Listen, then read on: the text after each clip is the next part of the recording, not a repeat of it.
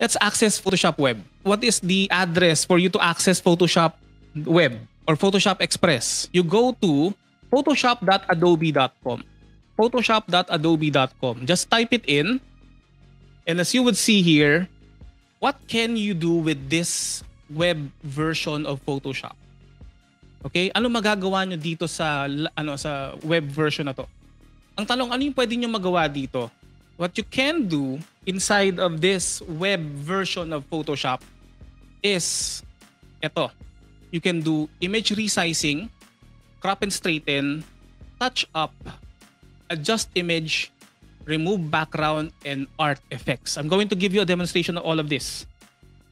The good thing about this version is that it has sample images that you can already use. So, hindi nyo na kailangan pang mag-upload, maghanap ng magandang uh, file.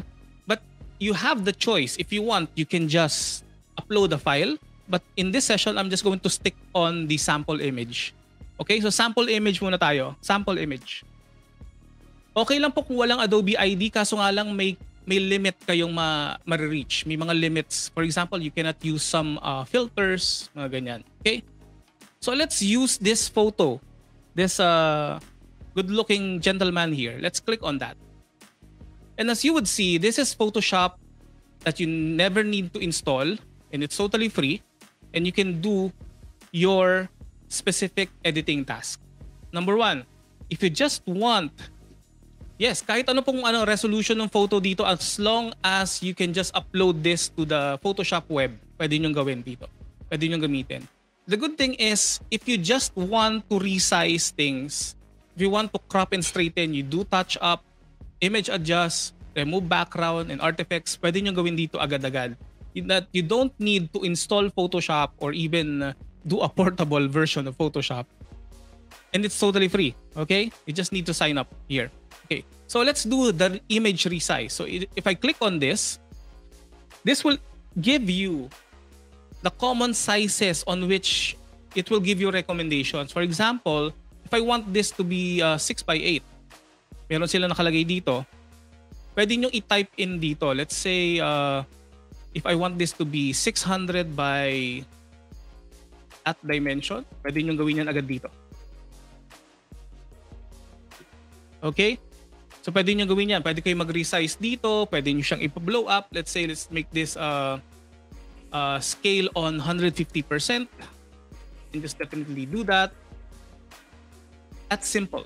Resize image. Click on resize image and this is automatically saved on this file. Uh, this image was resized. Ganun kadali. The next one is you can also do crop and straighten as you would see here. If I click on that, crop and straighten, you can just do specific transformation on this. You can also do straightening. For example, medyo crooked yung inyong photo, pwedeng straighten dito. Right? You can also flip it. Let's say I want to flip this. Gusto kong ilipat sa kabilang side. Diba? Gusto kong i-flip. Kunyari, meron kayong mga photos na ganito siya. So you want to flip this, you can just use this uh, website automatic na siya agad. And then, you can just also use what we call the presets inside of this. For example, if you want to do 4 by 3 3 by 2 16 by 9 you can just edit this to your heart content. Yeah, to your heart's content. For example, this one. Okay? And then let's crop the image here. I'm just going to cancel this. The good thing is you can have the access on the following presets. Yan. Pwede nyo agad hanapan niya. Ano ano, ano bang size nito? Ano bang size nito? Pwede nyo siyang gawin. Okay? We're just doing this. Okay? So the next one would be touch up. For example, if I click on this, touch up, I can just do brushing on specific. For example here, uh, I'm just going to zoom in. Let's say I want to clean up some of this. Let's say you can do this. Click on this. I'm using the uh, uh, pan tool. Yan. You can just do this. For example, ay, kung gusto niyo agad mag-heal ng inyong mga photos, you can just do this. Without even installing any application. Okay? It's using content aware. So imagine, you can just do something like this on just the browser. Even if you're on the smartphone, kung may smartphone kayo, punta kayo sa photoshop.adobe.com and then you can easily do the following task. So the next one is this. Uh, after the touch up, it's automatically saved as you would see here. Let's go to adjust image. As you would see here, pwede natin siyang baguhin. There are presets that you can use. For example, if you want to experiment with the color, let's say, let's make this vivid. Yan. Uh, you can also adjust this preset. If I click on that, you see it's almost similar to Lightroom with the controls such as exposure, contrast, highlights, shadows, whites, and effects. Even effects. Let's say if you want to do vignette. Diba? Okay, I'm just going to do some vignette. I'm just going to resize this. Yan, nakita nyo? Nagkaroon siya ng vignette. Click and hold to compare. This is before and after. Before, after. Kapag nakapag-login po kayo, all of these presets is available upon use. Kaya po mas maganda, you log on to the account. To your Adobe ID account. Okay? Yan. As you would see here, color, you can just adjust the temperature of this. Let's say, let's make this that, that like that. Or medyo bluish, sabihin natin, for some strange reason, pwede nyo gawin yan. Okay? Yan. So, This is just for demonstration purpose as you would see here. Yan. I can just always reset this. Click on reset and all of my settings are gone. Okay, if I want to make this warm as a photo like that, uh, let's go low. Let's go back to adjust image. Okay, if I click on that, yun siya. Okay. And then let's go on remove background which is uh, a great a great feature within the Photoshop uh, Express web. As you would see here, upon clicking remove background, it will automatically analyze the photo and remove the background just as nice as this. Nakita nyo? You seen the results? As you would see, pwede pa kayo maglagay ng background dito. For example, if I want to put a white background on this, just click on it. For example, if I want to put uh, other colors, let's say, tulad nito, you can just specify what type of color you want to replace on this. Okay? For example, I put this or yung masakit sa mata na ganitong kulay. Yan.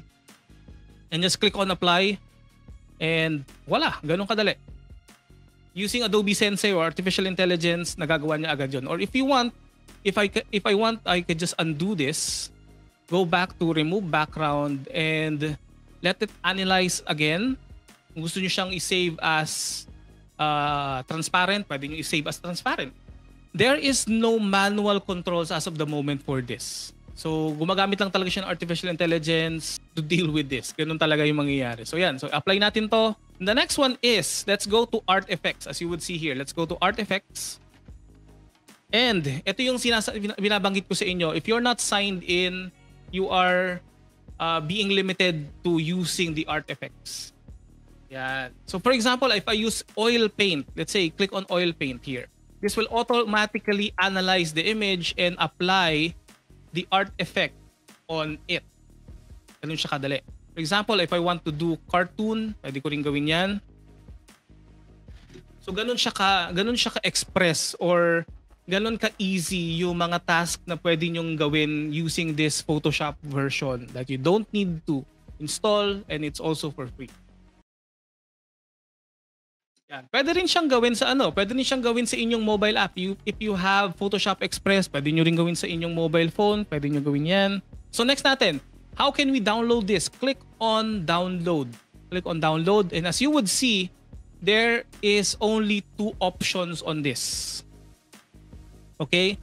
You can download this as a JPEG with a slider kung gaano kataas yung quality or a PNG on which it will preserve the transparency. Okay?